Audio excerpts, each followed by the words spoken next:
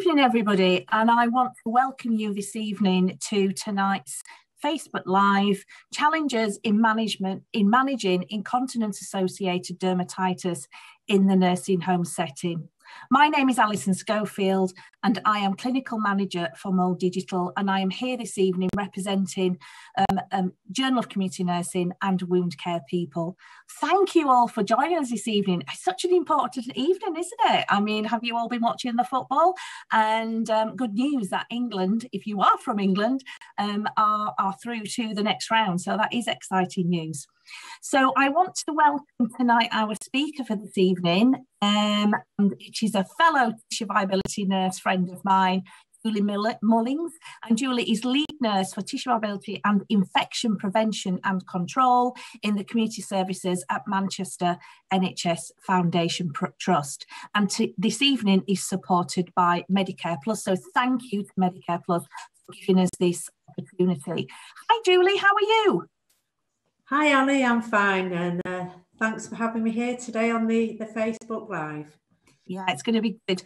And um, we're going to be talking about um, a subject that is close to um, everybody's heart, those of us who are healthcare professionals in, um, you know, managing associated dermatitis, especially in kind of, you know, the, the care nursing home settings. Um, I'm sure everybody's going to glean some great information through this. So just to let you know, those of you watching, uh, please, you know, mm, interact, let us know your thoughts and comments throughout and do ask us questions because we will be, you know, giving um, um, some live questions to Julie um, at the end. If you want to ask any questions of me, I'm quite happy to, to answer anything that you put forward. And we will have certificates available at the end, which is so important to us, aren't they, for our revalidation and continuing professional development.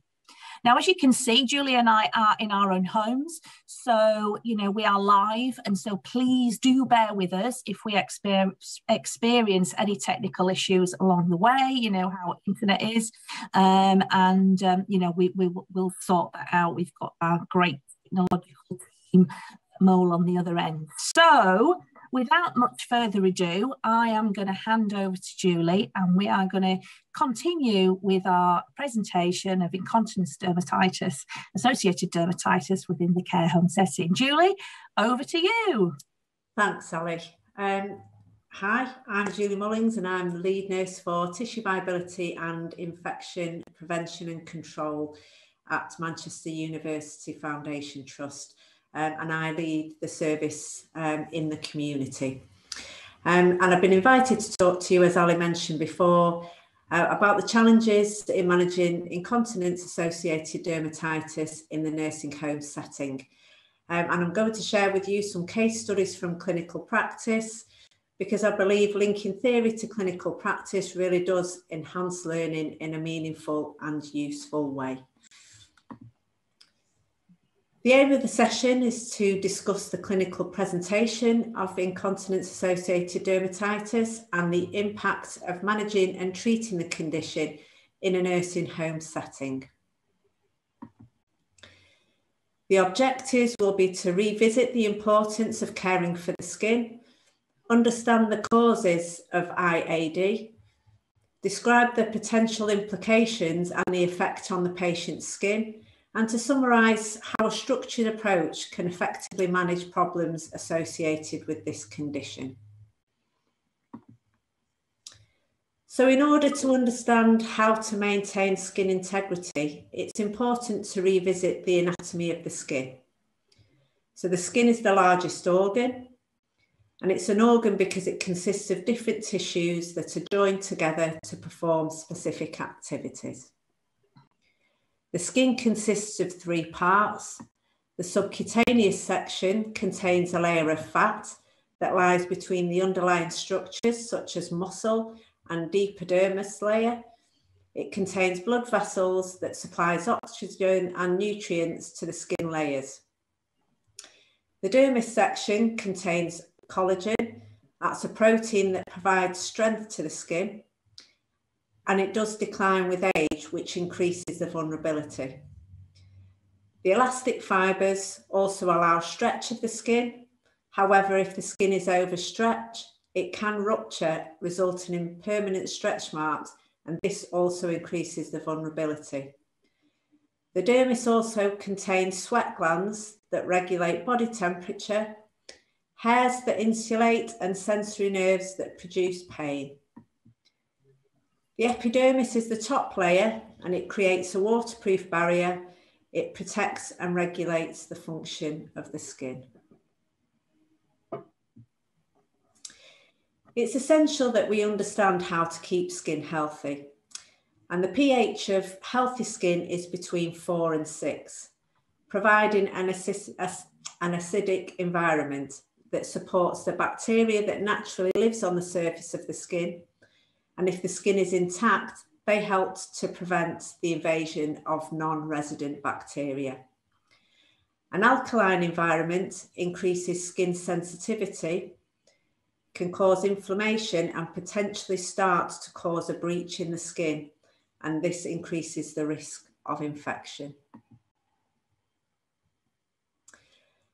An estimated 40 million adults experience incontinence in England. And in this population, they're particularly at high risk of developing incontinence associated dermatitis. And I think that this slide really does contextualise the magnitude of the problem. IAD is the most common and widely recognised form of moisture associated skin dermatitis. And this is due to prolonged or chronic exposure of urine and or stool, particularly liquid stool, stool on the skin. It can appear in the perianal area, the scrotum, the groins, the buttocks, gluteal cleft, and even extend down to the inner and posterior thighs. Up to 41% of care home residents have incontinence associated dermatitis, and this is due to unmanaged incontinence needs. And I think this slide really highlights that potential risk of this population developing IAD. to prevent IAD, I think it's firstly, it's important to actually recognise those patients that are at risk. We need to remove the causative factors where possible and provide appropriate skin care. We, can, we should consider if the patient needs help with toileting. If we don't, then the patient is going to be at risk of developing IAD. We might need to consider if the patient requires continence products. And if we are using continence products, we might need to review the fit, the type of product, because most pads are designed to absorb fluid and issues with fecal incontinence do require a specific product. It's important that we care for the patient's skin in an appropriate way to ensure its integrity.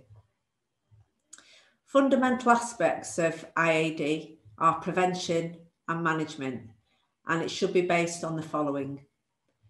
Skin cleansing to, re to remove contaminants and microorganisms, application of skin moisturisers, and an impermeable barrier that provides total skin uh, protection. And if we could communicate like we would on a face-to-face -face teaching session, I would ask you as the audience, is soap and water the most commonly used cleanser out in practice? Is this what we use commonly to clean patients' skin with? Well, certainly research tells us that we do. And I personally would be a very happy lady if we were to ban the use of soap and water for cleansing tomorrow and we moved to a soap substitute. Keeping the skin hydrated and protected is an essential pre preventative measure, and we can't do that by using soap and water. So why are soaps so detrimental to the skin? The acid mantle is a fine acidic film on the surface of the skin and it acts as a barrier. The sebum produced by the sebaceous glands in the skin when mixed with sweat produces that natural acid mantle. Frequent, frequent washing decreases the skin's natural defences. It reduces the sebum and the protective bacteria living on the skin. And this is further exacerbated by soap, as soap produces an alkaline environment. There are various alternatives to traditional soaps. We personally use aqueous uh, cream in our trust as our first line soap substitute. We can consider emollients as soap substitutes, non-scented pH balanced soap. What we need to do is avoid cleansers with alcohol and preservatives because that will dry out the skin and potentially cause irritations. And we should be using disposable wipes that are soft and gentle and not perfume baby wipes. And we should be patting the skin dry and not rubbing it because all of these will impact on the skin integrity. So it's important to obtain the correct diagnosis of any wounds to the skin in order to provide the correct treatment plan. And often category two pressure ulcers and IAD are confused.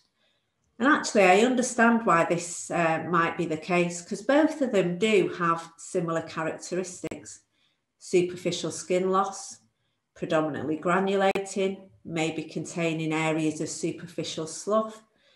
However, there are key characteristics that we can use to differentiate the two. And the characteristics of IAD will generally be widespread, widespread blotchy erythema, diffuse or irregular edges, often because of the urine and the moisture sitting on the skin, shiny wet skin, the wounds and the breaks to the skin are superficial.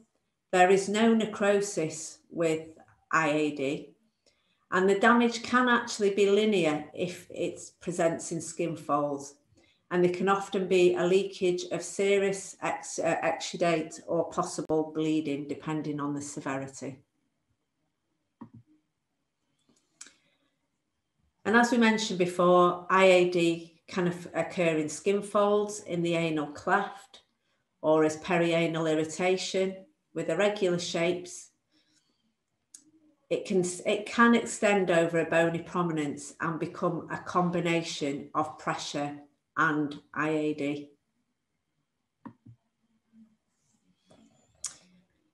IAD occurs following prolonged contacts of urine or feces with the skin.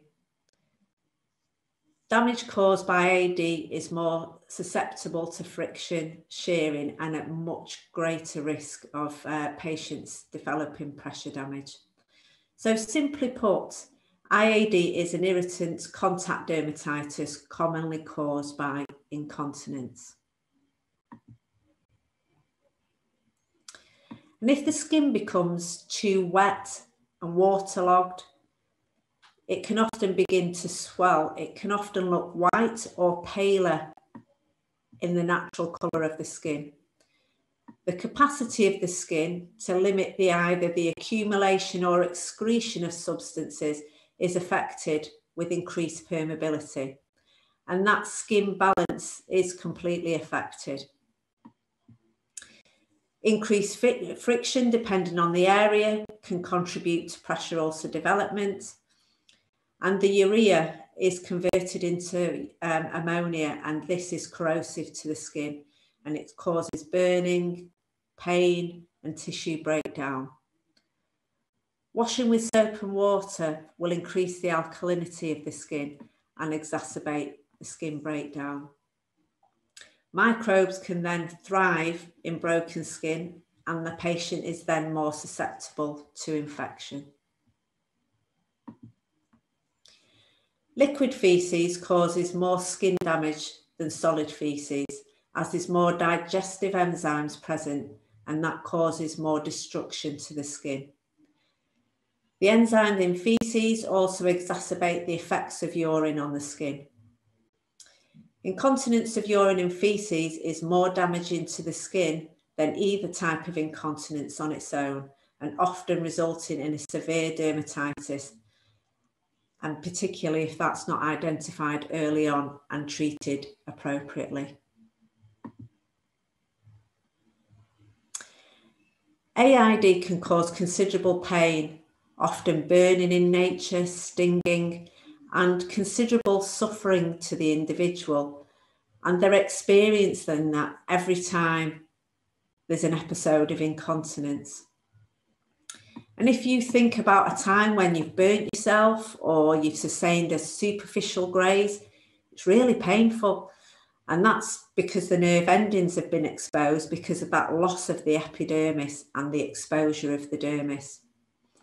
And for me, I was thinking, how, how would this potentially feel um, to a patient? And I should imagine it feels like putting alcohol on an open cut. And I think with the current pandemic, we're gelling our hands all the time. And if you've ever had a little paper cut to your finger and you put that alcohol gel on there, the pain is really quite severe. And I imagine that that's how patients must be feeling constantly. So I'd like to share some case studies with you from cl clinical practice, really to consolidate the previous slides and to link that theory into real life practice. So case study one is a 74 year old female with a history of dementia, hypertension, left CVA, poor nutrition and weight loss. She's unable to independently mobilise or perform activities of daily living and she is incontinent of urine and faeces. The current treatment plan um, was daily bed baths using soap and water. Following episodes of incontinence, baby wipes were being used to clean, and an antiseptic, antiseptic healing cream was being applied to the red and excoriated groins and bottom. Containment products or continent products were being used and a washable bed pad. So the key considerations of the case study is the patient's weight loss and the immobility, because both of those elevate the risk of pressure damage occurring. Poor nutrition, as this will affect healing. The use of soap and water and perfume baby wipes. This will increase the alkalinity of the skin. It will cause increased vulnerability and that potential of skin breakdown or exacerbating skin breakdown. So the tissue viability treatment plan was to wash with aqueous cream, to apply um, the barrier film, which was the Mediderma um, S total barrier film, referral to the bladder and bowel team, and a referral to the dietitian. We stopped the use of the washable bed pads, excuse me, as that um, provides an additional layer holding the moisture next to the skin um, and could compromise the efficacy of the pressure reducing equipment. The use of antiseptic creams um, do not provide a, a barrier. They dry the skin out and they can also block the incontinence pads so they do not work effectively. Case study two is an 80 year old female with a history of diabetes and peripheral vascular disease, and this patient is also obese.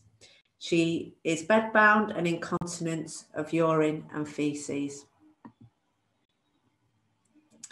The current treatment plan was daily bed bath using soap and water and following every episode of incontinence and foam dressings were being applied to the multiple superficial broken areas to both buttocks.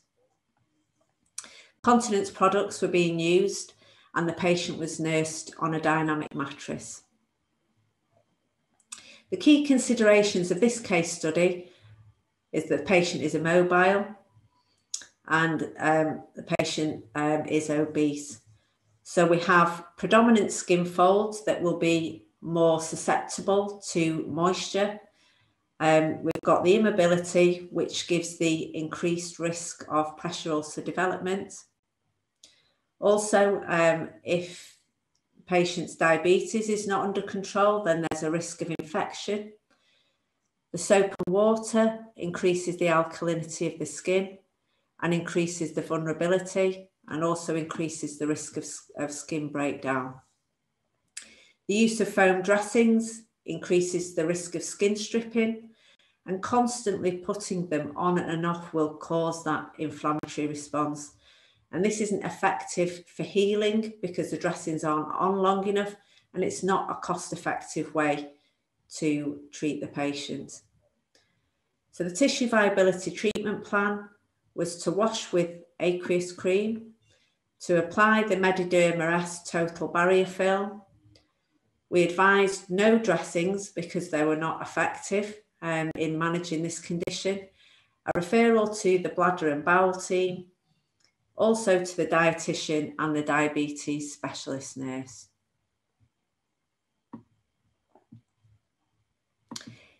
Case study three is um, an 87 year old male with a history of prostate cancer. He has restricted mobility and uses a frame and is incontinent of urine. The current treatment um, was to wash um, or to shower or to have a bath using soap and water. And following episodes of incontinence, an emollient was being applied and an antifungal ointment. And these were being applied to the red and excoriated area.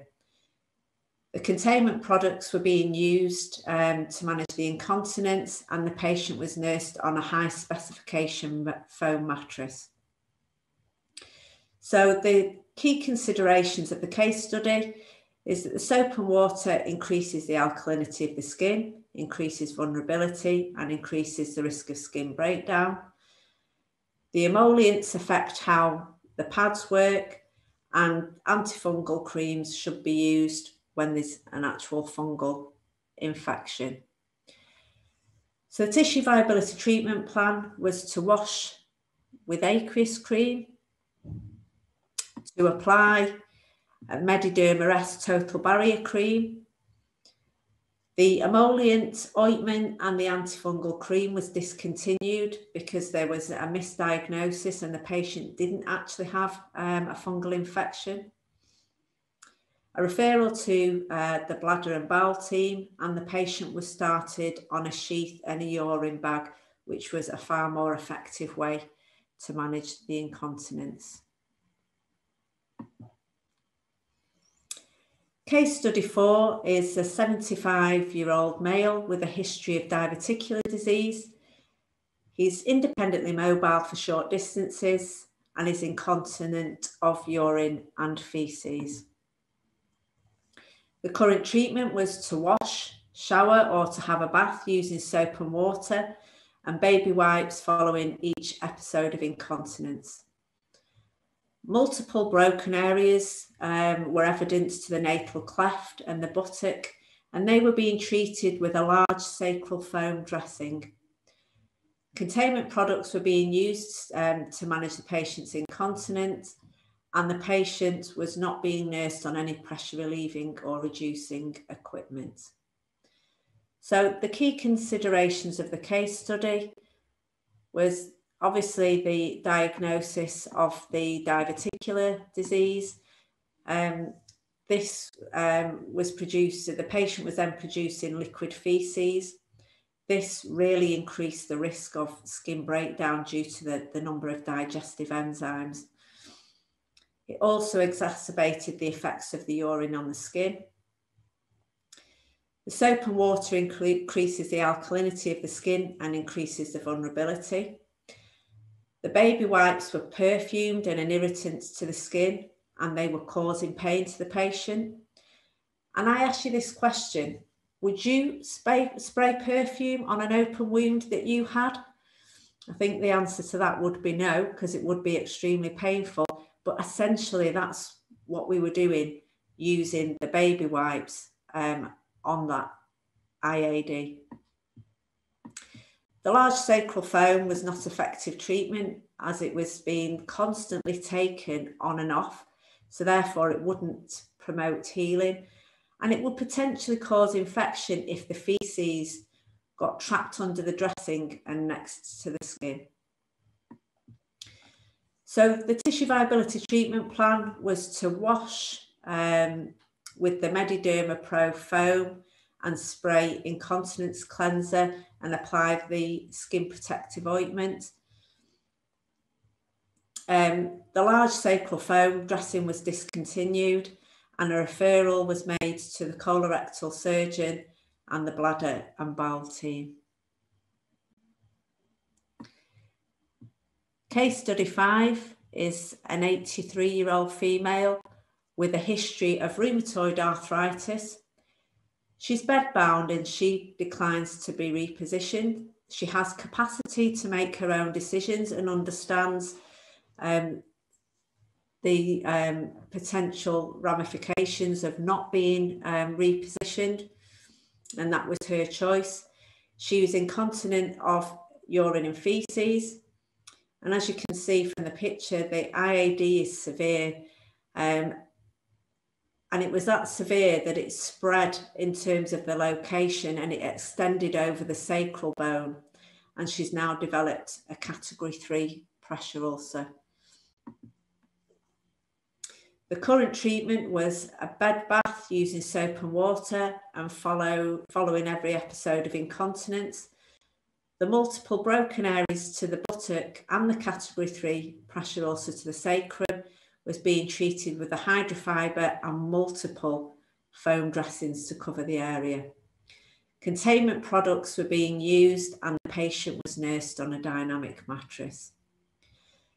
The key considerations of the case study is that the patient was bedbound, so was therefore always at an increased risk of pressure damage, and certainly coupled with the fact that the patient declined to be repositioned, further increased that risk of pressure damage.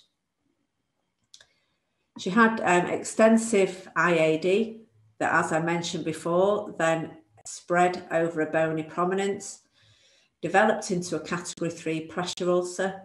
Obviously, having um, a deep pressure ulcer, such as a category three, with the incontinence um, issues, increase the risk of infection. And if the pressure ulcer was to further deteriorate to a category four with exposed bone, then there's a risk of osteomyelitis. Soap and water is being used, and that increases the alkalinity, increases the vulnerability, and increases the risk of skin breakdown. The hydrofiber and the multiple, multiple foams that were being put on and off numerous times in the day potentially were causing more irritation to the skin and inflammation. Obviously, on such fragile skin, we're then contributing to skin stripping. Um, and like I mentioned before, if feces is then trapped next to the skin, then this can potentially cause infection. This then causes a high risk of potential sepsis and hospitalisation. And that obviously is, is the reality of such extensive wounds.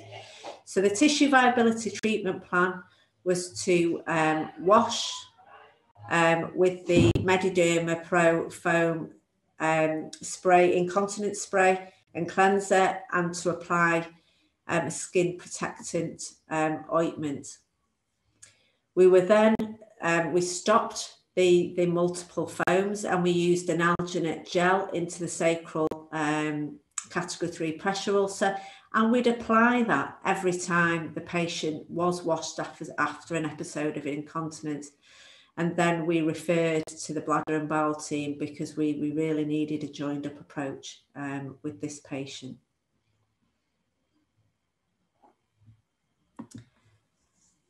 So I think it's, it's really important after sharing those case studies with you to have um, a clear and standardized plan of care for patients who are experiencing or are at risk of IAD.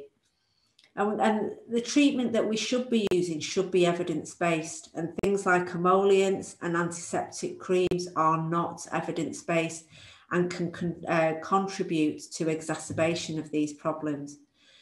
And it's really important that we understand appropriate product placement So we understand where those products should be used at those different points in managing the patient's IAD. And we should be using a step up and down approach depending on the severity. You know, and although this slide provides an overview of correct product placement, really for me, it's all about the prevention. Um, and this prevention um, care plan and uh, that we that we should be putting in place will encompass then the appropriate cleaning regimes and cleansing regimes and the use of an impermeable barrier to repel moisture because it's much easier to prevent than it is to treat some of these and particularly the severe um, IAD. So really sort of focusing on summarising the presentation and those take home messages that I, I would like you to, to consider after the presentation is that the holistic assessment is vitally important. So not just focusing on one as aspect of, of, of the patient's condition, and obviously in this case, the, the IAD, but really looking at that patient in a holistic way. Because we've spoke before how IAD can can increase the um, you know the, the likelihood of, of, um, a pressure ulcer occurring. So you know poor nutrition can uh, healing. You know, incorrect, you know, dressing management can exacerbate the problems. And I think that early recognition of the risks, and if we recognise them early on in the patient's care, then we can prevent things. And like I said before, you know, prevention is is far easier to do than to to to treat and to cure something. To stop using soap and water, because as we mentioned before, that increases the alkalinity and the skin uh, vulnerability. And to stop using baby wipes, they're perfumed, they're, they are extremely pay, painful for the patient. And to use that correct product placement and that step up and down approach depending on the severity of the IAD. We should be using standardised care that's evidence based but that meets the patient's needs and that should be reflected in our care plans. And in our trust, we use algorithms to help support the nurses in that decision making process. And that referral and collaborative working, that MDT approach, I find often provides the best outcomes. So I will hand you back to Ali now um, for the question and answer session. Thank you, Julie, so much. Do you know what? You had some, you had so many case studies in there. That was amazing. Some, you know, we see, don't we? We, we see, and you know, the audience who are watching will feel the same. We, we, we see so much in, in clinical practice that, you know, you, you think today in this day and age, we, we, we kind of don't see that. I've, I know I've, I used to be a district nurse, like you used to be a district nurse, and you know, when you're out there in the community and you see elements of self neglect, and you see such severe incontinence associated dermatitis, you know, MSD, you know, whichever terminology that you use in practice. And, you know, we, we, we think that we're never going to, you know, with products and things that are available today, that we, we, we're kind of not going to see that, but we do, don't we?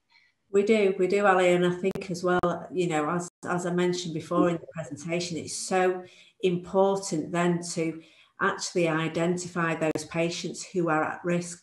Because as you all know in practice, it's not easy to treat IAD at all. You know, we can't use dressings, you know, we we can't put something on and leave it. It is a constant um, you know, regime and it is much, much, much more difficult to treat. So it's that early recognition and thinking, you know, could that patient go on to develop that that we're really you know and intervening early on? And that really good skincare just that basics of not using soap and water generally on a patient and particularly with our elderly population the skin's drier anyway. It's we've lost that elasticity so they're far more at risk of of having breaches to to the skin integrity. So i think you know a really good you know, moisturizer, and then using those impermeable barriers to, you know, repel that moisture. It sounds simple when we discuss it, but you know, it doesn't, it's not always recognized in practice. So I certainly hope, you know, through presentations like this and through, you know, our conversations that that just really raises the profile. Yeah. And don't you think sometimes it's the simplest things? It's like it's skincare, isn't it? And we we have so much focus on. We always have done for years on pressure ulcer prevention, pressure ulcer risk assessment. I mean, this is hand in hand, isn't it? And it needs to be incorporated in part of that pressure ulcer risk assessment. Absolutely, and I think we've become so focused on on you know preventing pressure ulcers, managing pressure ulcers which absolutely is a very important part of what we do. But sometimes we need to go that step back from that and think about, you know, that maintaining the skin integrity in the first place. Yeah. And you mentioned, like, through your presentation, you talked about like algorithms, you know, pathways, algorithms, roadmaps, you know, it really standardizes the care, doesn't it? And it does give people that pathway to follow and things like I know in practice I've always been asked a lot to, oh, well, you know, is it pressure ulcer? Is it is it you know a moisture lesion? Is it? And you know, often sometimes you'll find and people say, shall I put a dressing on that? And yeah, absolutely. And and I think that you know, as I mentioned before, the the category twos particularly and and and moisture associated skin damages, they are often, you know, it's a difficult one to call sometimes. And I think, you know, district nurses, nurses working on the ward in nursing home, they're not just focusing on wound care either. They're doing a myriad of things. So that's why we found that, you know, algorithms or a simple table that just reminds you of the process of is this pressure damage? Is it skin? Um, is it some moisture associated skin damage? And that simple checklist, because unlike us, we, we, you know, we're tissue viability and that's what we do all day long.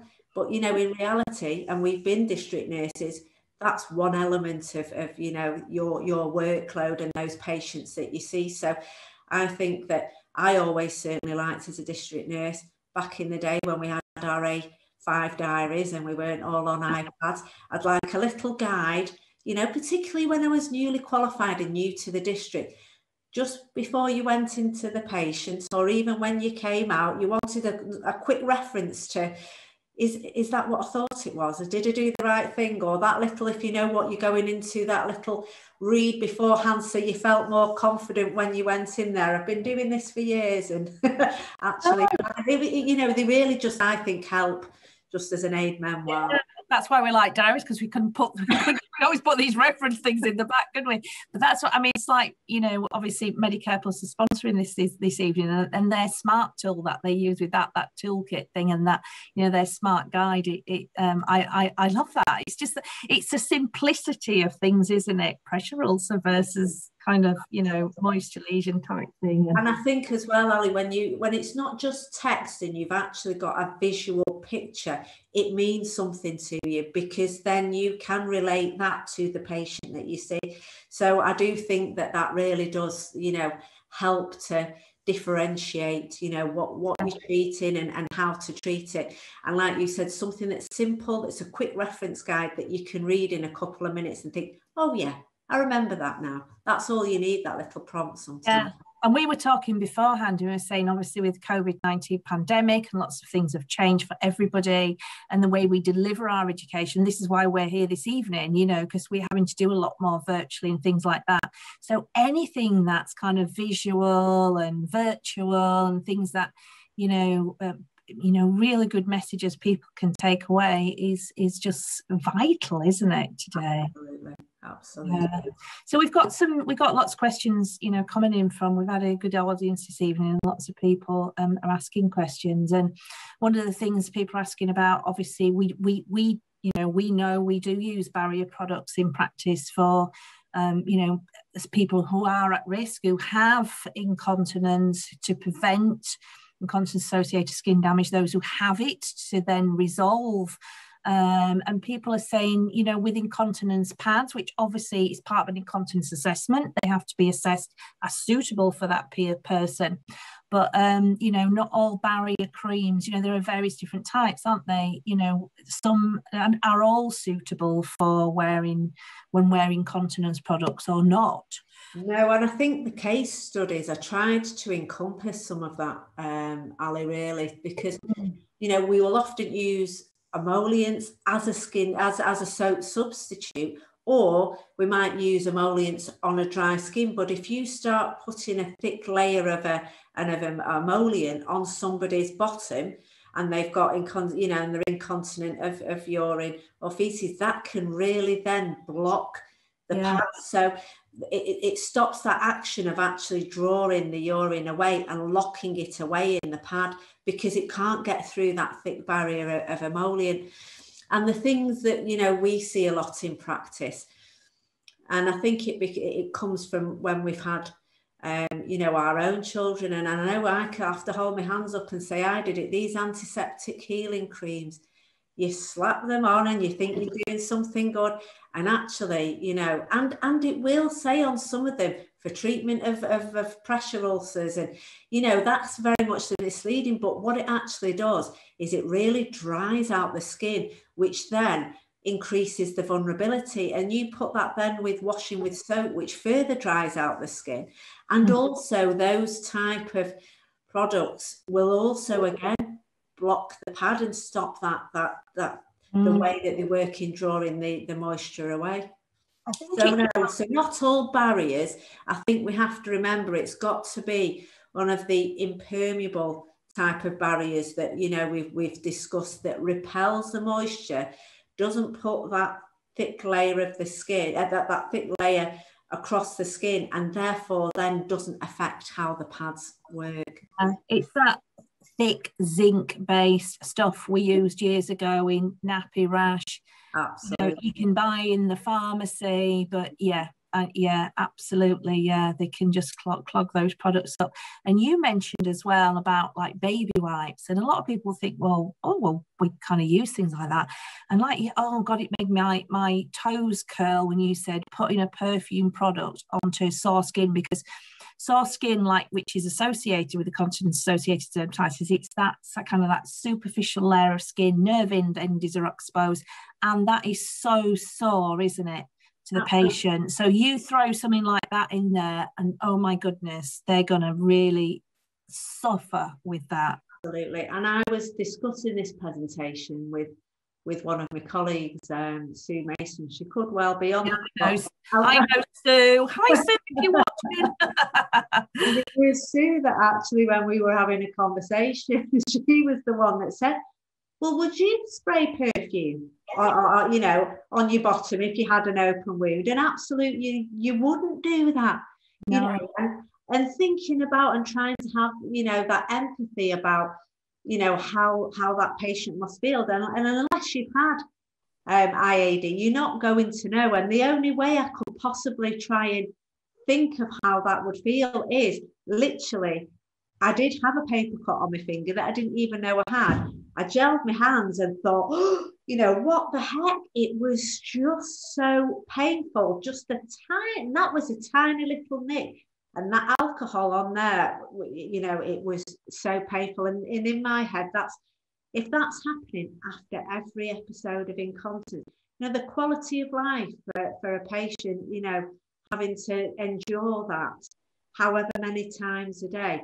And i think that's why as well you'll see in the treatment a lot of them were we had referrals on. So it wasn't just the treatment it was again going back to that holistic uh, assessment is there anything else that we can do? Is there, you know, certain products that are specialists that the bladder and bowel teams know about?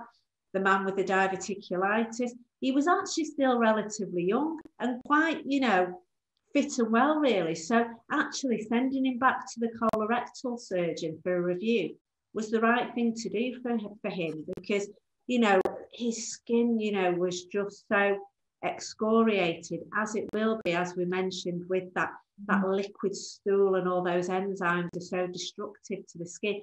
And then, you know, further exacerbating the effects of the urine on the skin. So it was certainly, you know, worth revisiting that, um, you know, with the colorectal surgeon. So it, it really is sometimes getting other people involved where appropriate to get that best outcome for yeah. Um, I mean, you know, obviously our title tonight, we're talking about nursing homes, but in nursing home setting, residential home setting, you know, patients at home. I know we've got district nurses watching tonight as well. Um, and, you, you know, it is about that with that it's that holistic assessment isn't it that continence assessment and you know it isn't just always appropriate to oh well the patient's incontinent will provide a pad it's about well what is the root cause of that urinary incontinence fecal incontinence especially? Like you said that referral onwards because it might be that they can have i mean diverticular isn't uncommon in people of an, an older age. Mm. and um, you know we know the damage that feces can do. So it's getting to the root cause of what the problems are and are there other interventions and treatments? And the meanwhile then we're going to do our preventative skin care um, with, with with what we have yeah, absolutely, Ali, definitely. Yeah, yeah. Um, and somebody's asked a question about um, other types of uh, kinds of moisture, moisture associated skin damage, because obviously that's an umbrella term. Um, and um, we can say, obviously, within guidance of the um, um, NHS improvement in, I think it was 2018, wasn't it? They, they changed the guidance so that, that we, we, we all know in our NHS Trust, we report pressure ulcers, we put them through as a serious incident in our reporting systems. And then that changed. So we do report moisture associated skin damage. Now, I know in my trust that I've just come from, we only reported incontinence associated skin damage within that. But I know in some trusts, they, they kind of took the whole umbrella. So I, do you want to mention the other ones? Yeah. Absolutely, and, and, and we do report, but I must admit, um, Ali, I think that you know, IAD is the one that's most reported.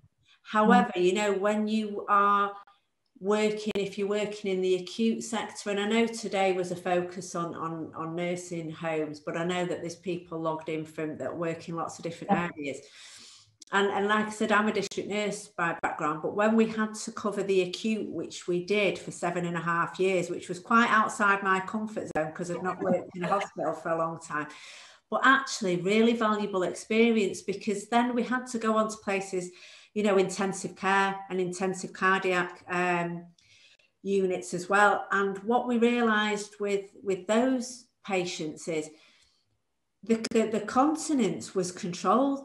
They had they had cathetering because they were managing, you know, fluid input and output, and that was obviously part of, you know, their treatment being acutely unwell. And um, sometimes they used, you know, um, other other products. The um, oh gosh, it's it's gone out of my the um the bowel management systems. Oh so yeah, you yeah. have as much as many issues with with IAD because you could use other products that you wouldn't be able to use in a nursing home. But what you did have was those patients were often very edematous. It's very warm in intensive care, so they actually got moisture in the skin folds. So it was caused by sweat and excessive fluid because they were very edematous. And then it was pooling in areas such as the groins, under breast, under if there was, you know, any aprons abdominally, under there, gluteal clefts, all the places that we mentioned before.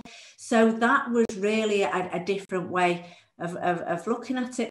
Also, we, you know, we've, we've got patients that have got really highly exuding wounds.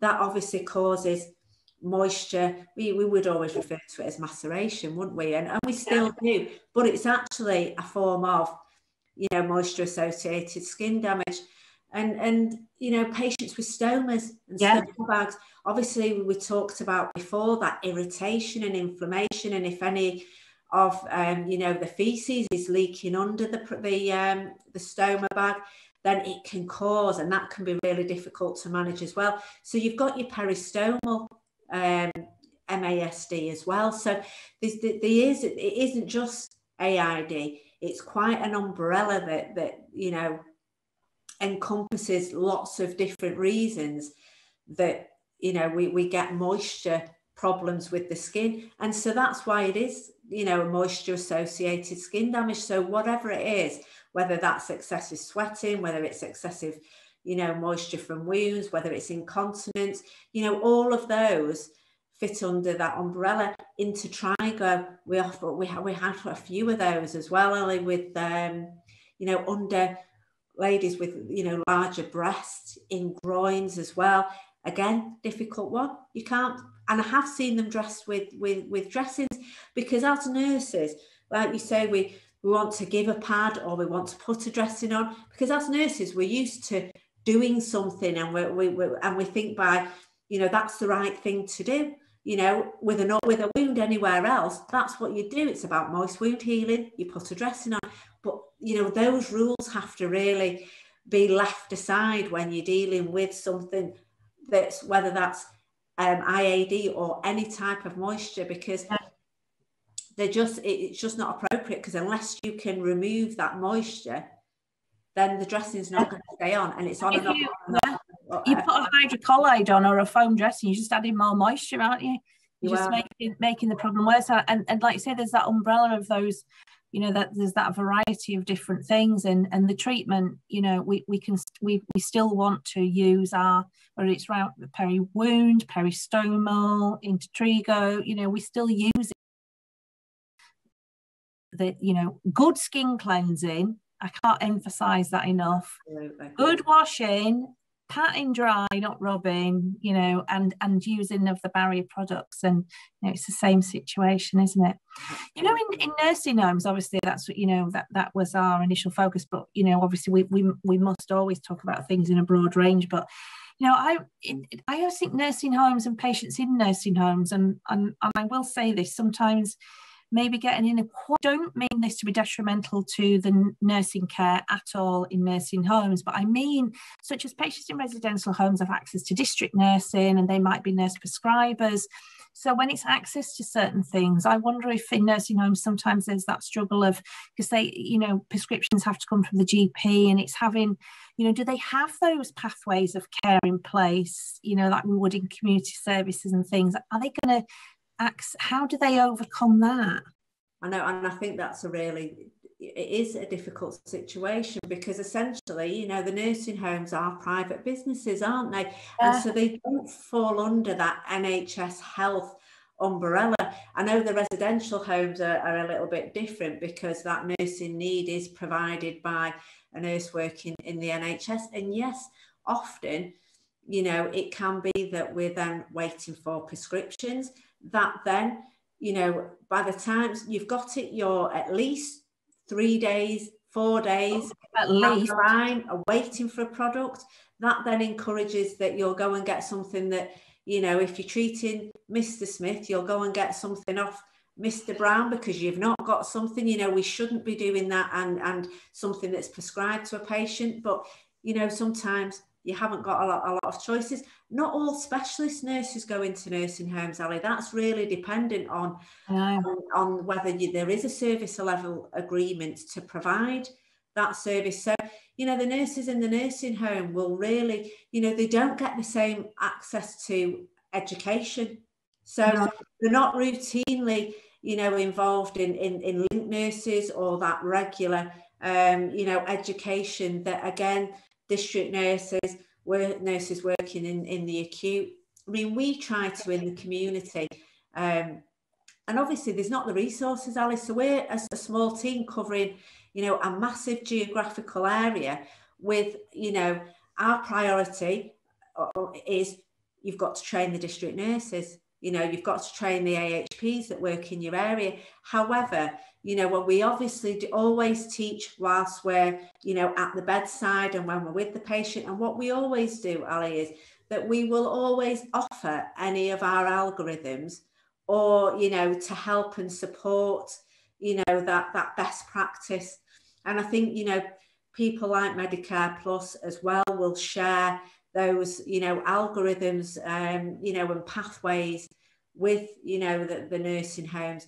So you know we have offered comes a bit difficult when it comes to documentation because then obviously you have sort of legal considerations because you don't sit with us. But you know we we do help and guide and support as much as possible. And at least once a year we have a big um, study day where we will bring in all the care homes but that's not enough. Yeah. that's not no. anywhere near enough. And like i said it's it's it's then sometimes on a patient by patient basis and doing that bedside teaching. It's it's hard isn't it? It is i know it's it, it's it's all to do with commissioning and commission of service in to, to nursing homes is very different I did cover my nursing homes. I maybe did a bit more than you know what was expected yeah. of. But I, I, was like you. I was kind of on my own in community service, and it's and it's difficult from from what you can provide. That's why our industry partners are really important because they can help and support us in that education.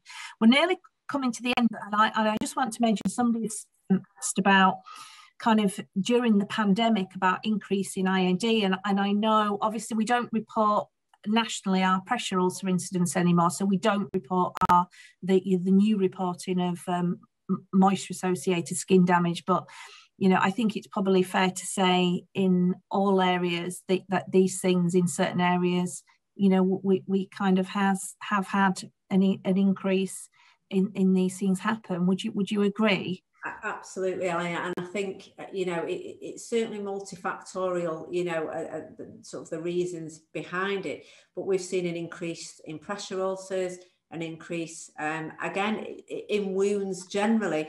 And, you know, a lot of it, and certainly in uh, from a district nursing point of view, and getting access into the nursing home, Everybody was extremely scared. They didn't want nurses going in. And in the nursing homes, they were trying to protect their patients. So, therefore, they didn't want specialist nurses coming in if it could be avoided. A lot more was done, maybe a telephone advice. We haven't always got, they haven't always got access to, you know, photography, you know, or a camera to send an image. Um, so, and then, and the same in district nursing, patients were saying, I don't want you in, and even to the district nurses, net, let alone a district nurse, a specialist nurse, you know, and then you before you know it, and the carers coming, you've got three extra people in your home, and you don't want anybody in at all. So I think that that patients have they've done a lot of self management, but not necessarily in partnership with, you know, a healthcare professional. Yeah, uh, so you know there is a place for for that shared management but it yeah. needs to be in partnership. And I think people have thought, you know what, I'll just deal with this on my yeah. own. I think you're right. Yeah, and and I and I think that's that's. Do you know what? We could chat all night, couldn't we? Next step is yeah, and uh, yeah, the self care is a whole other conversation that we can have. I'm I'm very conscious of the time, and we've um, yeah, and uh, we're coming up to uh, kind of half past eight now. So I'm I'm going to draw to a close, and I want to thank you so much, Julie. I've really enjoyed that, and I've really enjoyed chatting to you um, this evening. It's been absolutely um, fantastic. So I want to just give to you or everybody watching. And again, thank you so much for tuning in this evening. I hope you've enjoyed it as much as we have. And I want to give you a call to action now. So I want to give a big thank you to Medicareplus for supporting today's event. And so you can receive a free sample of Medi Derma-S Total Barrier Film Applicator. So you just need to visit the medicareplus.co.uk forward slash sample. And the link is on the screen. So, um, and will be in the comments for you to follow. There's also a certificate link, which is on the screen, and that will be available in the comments. So make sure you get that for your revalidation and uh, CPD. The recording and the slides, as always, will be available on our website shortly. So if there's, you know, anybody who couldn't watch tonight, then, you know, tell them to go on and watch again, or if you want to watch back.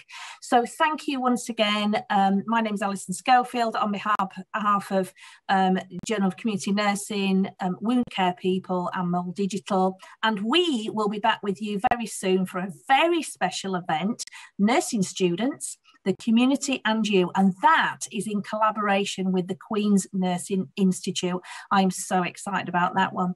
So just follow our Facebook for all future events and announcements. So once again, thank you and have a marvellous rest of your evening, everybody. And we will shall see you again here very soon.